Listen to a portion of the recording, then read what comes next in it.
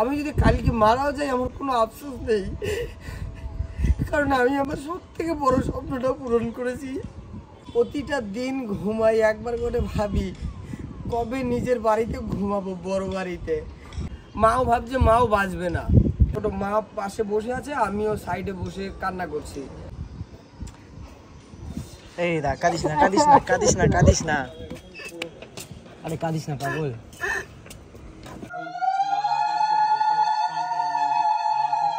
এই গাইস কেমন আছো আই হোপ সবাই খুব ভালো আছে। তো ফাইনালি আজকে সেই ডেট যে ডেটে আমি আমার ঘরে ঢুকবো। আর ঘরে পুজো হবে একটু পরে অনেকে এসছে সব রেডি হচ্ছে। এদিকে সব সাজানো কমপ্লিট হয়ে গেছে। এদিকে কৃষ্ণদা কেমন আছো? খুব ভালো আছি। আর এখানে আসার পরে মারাত্মক ভালো লাগছে মানে একদম কৃষ্ণদা অনেকদিন পরে আসলো। আর এদিকে সবাই কাজ করছে মিনময় আর ও অনেক কাজ করছে সকাল দিয়ে। কেমন লাগছে মিনময়? একদম একদম। চলো আগে একটু ঠাকুর মন্দিরটা দেখে আনি। তো এইখানটাতে সবাই কাজ করছে দেখো ফল প্রসাদ সব গোছানো হচ্ছে। আন্টি কেমন আছো? কেমন লাগছে? হায় আয় ভাই। কোনো ঠাকুর কম নাই তো বোন? মা আবার নতুন শাড়ি পরেছে। ও বাবা কি সুন্দর লাগছে দুজনকে। সকালবেলা থেকে আমরা কাজ বাজ করছি পাঁচটার সময় উঠেছি। ওই সাস মিনময় শুয়ে পড়েছে। একদম এইটা মেনলি তোমার জন্য করেছি এই কারণে শুটের যে যেহেতু তোমার কাজের জন্য এটা। একদম। তো চলো খালি ঝাড় দেওয়া শুরু করে দিই এই তো হ্যাঁ কাজের মেয়ে ঝাড় দিচ্ছে। তো চলো কাজের মেয়ে ঝাড়টার দিক। আর এখন আমাদের এখনও অনেক কাজ বাকি আছে। আজকে অনেকেই আসবে বাড়িতে। যাই হোক ভালো লাগছে। যেহেতু সবাই আসলেই ভালো লাগবে। যাদের সাথে টুকটাক কথা হতো, সবাইকে আমি বলেছি যে তাড়াতাড়ি করে আসতে।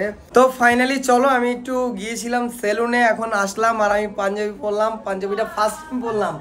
ভাইও একটা পরলো, দাদাও একটা পরেছে ফার্স্ট টাইম পরেছি। হুট করে আমি অন্য গেঞ্জি পরেছিলাম ভাইও দেখি এটা পরেছে আমি বললাম চল আমি একটা পরি। চলো এবারে নতুন প্লেয়ারে তাড়াতাড়ি পুরোহিত চলে এসছে ওখানে যেতে হবে। আর ক্যাপ্টেন এসছে। Yo yes white yes black hand white আর এদিকে দেখো ময়দা মেঘছে ওরে বাবা গই। আমায় না আমায় না দেখো আরে হাজার টাকা দাম এটা। সুন্দর লাগবে সুন্দর লাগবে। না, না, না, না, আমার দিস না, দিস না, দিস না। তো চলো এখন আমরা যাচ্ছি ওই বাড়িতে কারণ আমাদের পুরোহিত মশাই চলে এসছে। আর আমাদের তাড়াতাড়ি গিয়ে বসতে হবে পুজো মণ্ডপে আর আমি দুবার স্নান করলাম এই নিয়ে। আর যেহেতু তাড়াতাড়ি যেতে হবে তার জন্য গাড়িটা আমার কাছে। আমি তাড়াতাড়ি চালাই ফাইনালি এখানে ফুল লাগিয়ে দিয়েছে। ফুল কম পড়েছিল পরে এগুলো কিনতে পাঠালাম। তো তারপরে এনেছে লাগিয়েছে। তো চলো ফাইনালি আমার ঘরে ঢুকছে ইয়ো ক্যা হুয়া চলো এখন এখানটাতে পুজো হচ্ছে। চলে এসছে। তো গাইস ফাইনালি এখন আছি আমার বাড়ির ছাদের উপরে। আজ হলো গৃহ প্রবেশ মানে আজকে আমরা বাড়িতে ঢুকবো। আর অনেক দিন দিয়ে তোমাদেরকে একটা কথা বলব বলব করে ভাবছি যে বলব বাট বলতে পারিনি। ইচ্ছে ছিল যে যেদিন ঘরে ঢুকবো সেদিন তোমাদেরকে বলব। তাই আমি অনেকবার বলেছি যে যেদিন আমি ঘরে ঢুকবো সেদিন তোমাদের সবাইকে আমি বলব। আর সব থেকে বড় কথা হলো যে আমার বাড়িটা অনেক স্বপ্নের একটা বাড়ির জিনিস। কারণ আমার কাছে যত যা ছিল আরও ধার দেনা করে হলো আমি বাড়িটা শুধুমাত্র রেডি করেছি। কিছু কারণের জন্য যে চলো, এটা আমার একটা স্বপ্ন ছিল। এই কারণে যে আমাদের সব থেকে বড় বাড়ি ছিল। আমাদের মানে নিজেদের ভিতরে সব থেকে বড় বাড়ি ছিল। যখন আমার বয়স প্রায় সাত বছর, তো তখন আমার মারও মানে একটা টিউমার ছিল। টিউমার বলতে টিউমারটা একদম খারাপ পর্যায়ে চলে গিয়েছিল। আর অনেক টাকা লাগবে, বাবা একা কাজ করতো। তো তখন কাজ বাজারও মানে অতটা ভালো ছিল না। তা এবারে টাকা পয়সা টুকটাক খাওয়া দাওয়া, এখানে ওখানে টাকা পয়সা, ডাক্তারের টাকায় একটু মানে ঋণ দেনা টাইপের হয়ে গেছিল। তখন আমাদের একটা বাড়ি ছিল, দোতলা বাড়ি ছিল, দোতলা কাঠের দোতলা বাড়ি ছিল। তো তখন সেই বাড়িটা মানে টাকা না দিতে পারাতে কিছু লোক এসে বাড়িটা ভেঙে নিয়ে গেছে, যেহেতু তাদের টাকা তাদের টাকা দিতে হবে টাকা তারা তো নেবেই। তো তখন আমি অনেক ছোট, মা পাশে বসে আছে, আমিও সাইডে বসে কান্না করছি। আর আমার দাদাও তখন নতুন নতুন কাজে ঢুকেছে মানে দাদার ওই এগারো বছর বয়স। তখন দাদা কাজ করছে, অল্পটা টুকটাক টাকা পায়, কিন্তু তখন কাজ করছে। তারপরে যখন ও শুনলো যে বাড়ি ভেঙে নিয়ে যাচ্ছে, ও দোকান মানে দোকান থেকে বাড়ি এসছে যে, এই ব্যাপার বাড়ি এসছে। একটা রুটি নিয়ে এসেছিল আমার জন্য। তারপরে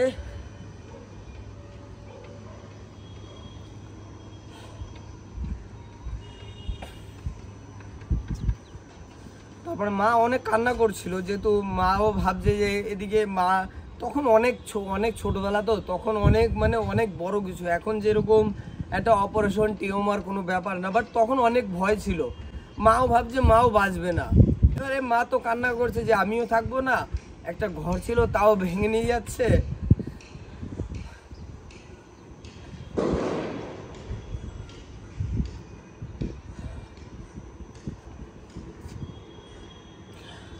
তখন মা অনেক কান্না করছে।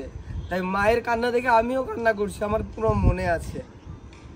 তখন দাদা মায়ের কান্না দেখে যখন আমি কান্না করছি, আমার দাদা আমার হাতে একটা রুটি দিয়ে বলছে, ভাই, এই রুটিটা খা, এখানে আমাদের অনেক বড় বাড়ি হবে।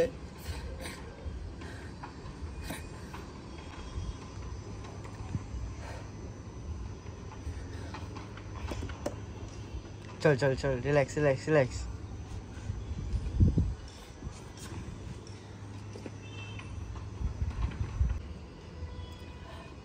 এখানে আরও অনেক বড় বাড়ি হবে তাই আমাদের এই ঘরটা ভেঙে নিয়ে যাচ্ছে।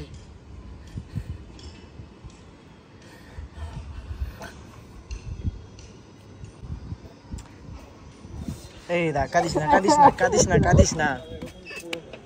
আরে কাঁদিস না পাগল।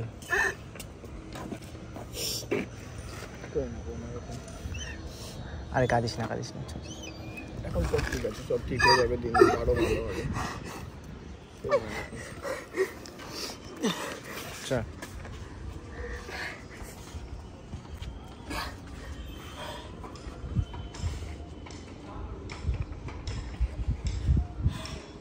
এখানে অনেক বড় বাড়ি হবে, তাই এটা ভেঙে নিয়ে যাচ্ছে।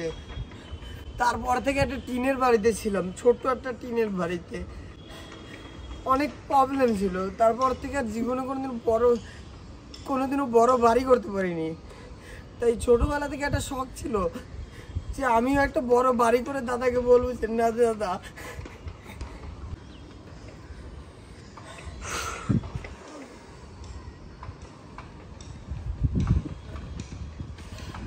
তারপর থেকে একটা টিনের বাড়িতেই ছিলাম। কোনোদিনও বড় বাড়ি করতে পারিনি। তখন থেকেই মনে একটা ইচ্ছে ছিল যে, দাদাকে বলব যে, নে দাদা, আমিও বড় বাড়ি করেছি বা আমাদেরও বড় বাড়ি হয়েছে। প্রতিটা দিন ঘুমাই, একবার করে ভাবি, কবে নিজের বাড়িতে ঘুমাবো বড় বাড়িতে? সবসময় নিজের বাড়িই ছিল বাট ছোট ছিল। ইচ্ছে ছিল যে বড় একটা বাড়ি করব, কিন্তু কোনোদিনও সম্ভব হয়নি যে এত টাকা কোথায় পাবো? সবাই, আর ছোটোবেলা থেকে আমাদের মানে শরীর সবার খারাপ বেশি। মা, মায়ের শরীরটা বেশি খারাপ ছিল। তো পারিনি কোনোদিনও, কিন্তু ইচ্ছে ছিল যে কোনো না কোনো দিন একটা বড় বাড়ি করব। তাই ছোটোখাটো হলো যতটা পেরেছি এখন একটা করেছি এটার জন্য আমি যদি কালকে মারাও যাই আমার কোনো আফসোস নেই। কারণ আমি আমার সব থেকে বড় স্বপ্নটা পূরণ করেছি।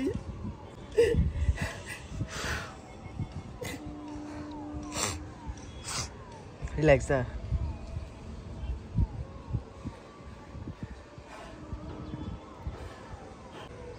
আর গাইস এই সবটাই সম্ভব হয়েছে শুধুমাত্র তোমাদের জন্য। তাই এই একটা কারণে আমার বাড়িটা অনেক স্বপ্নের বাড়ি ছিল। যে বাড়িটা আমি অনেক দিন দিয়ে ভাবছি একটা বাড়ি করব বাড়ি করব, এই একটা কারণের জন্য আমি এত কষ্ট করেছি। আর আজকে তোমাদের কাছে একটা বাড়ি হলো, আমার কাছে এটা একটা বাড়ি না।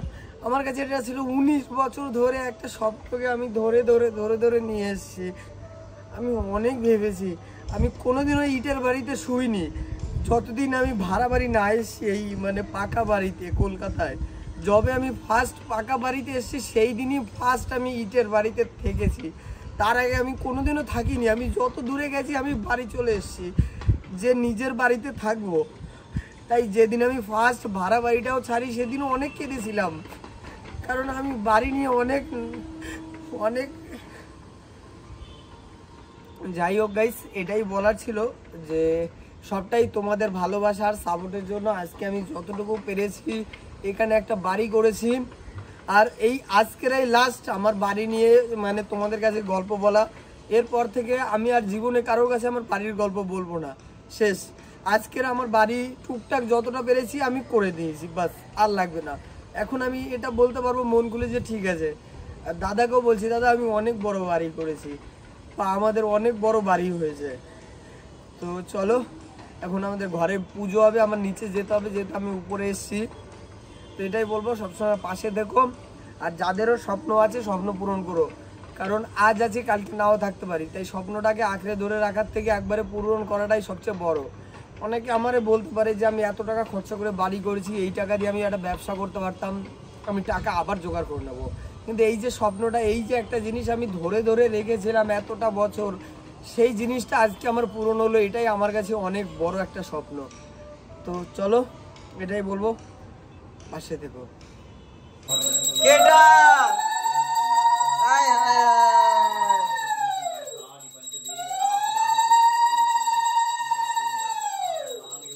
জামাই জামাই জামাই জামাই লাগছে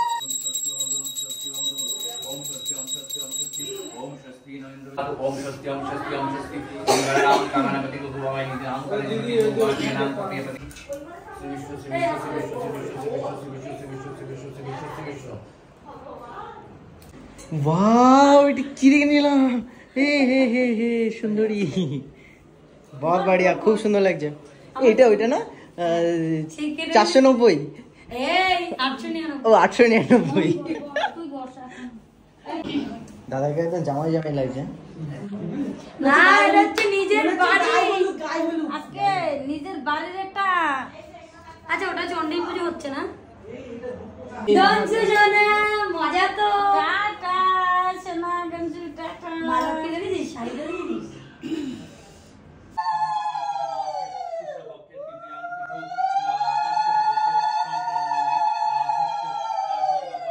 কে এসছে ওটা? এটা কে এটা ক্যামেরা দিকে দাঁড়াও কুচি দু হাত দিয়ে ধরে আছে পুরো। চলো। দাদা চল বল তোর প্রথম এক্সপিরিয়েন্স কীরকম লাগছে? ধুতি গেঞ্জি প্রথমবার নাকি এর আগেও? প্রথমবার? তো এক্সপিরিয়েন্স কীরকম? আমার কথা বলো সবাই। দাদাকে জামাই জামাই লাগছে কি না? জামাই জামাই আমরা সবাই একসাথে এসেছি তো মানে মনে হচ্ছে এক্ষুনি গায়ে হলুদ হবে ওখানে?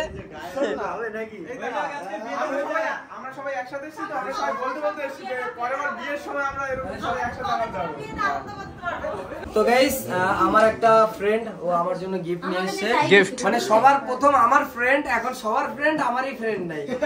তো এখন একটা গিফট নিয়ে এসেছে দেখা যাক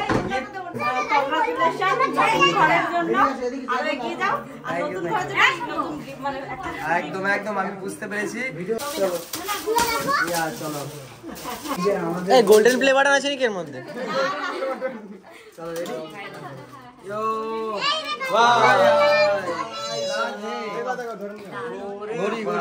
এটা সুন্দর লাগছে এটা এটা এটা মায়ের ঘরে যাবে। চলো এটা পরে আমরা সেট করব তোমরা তাও আরেকবার দেখে নাও। वाह राधे राधे। राधे राधे।